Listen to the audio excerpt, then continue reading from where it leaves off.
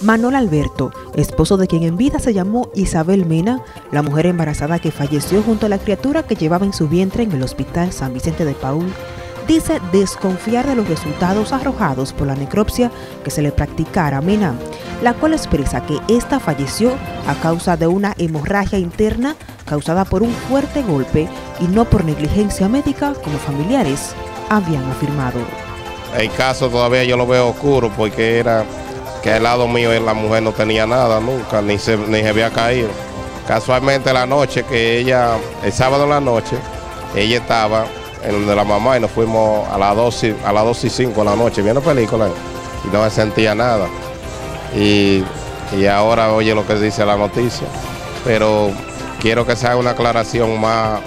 Si hay que mandarle a hacer otra autopsia, que se le va a hacer, si Dios quiere, otra autopsia, para ver lo que dice, porque ella Simplemente era un dolor de parto que tenía y no tenía nada. La incredulidad la comparte el hermano y conocidos de la fallecida. Dicen sentirse excluidos pues no fueron notificados a la hora de ofrecer el informe de la necropsia. A nosotros no se nos ha acercado ningún forense, ni el director del hospital, ninguna autoridad para darnos detalles sobre ese hecho.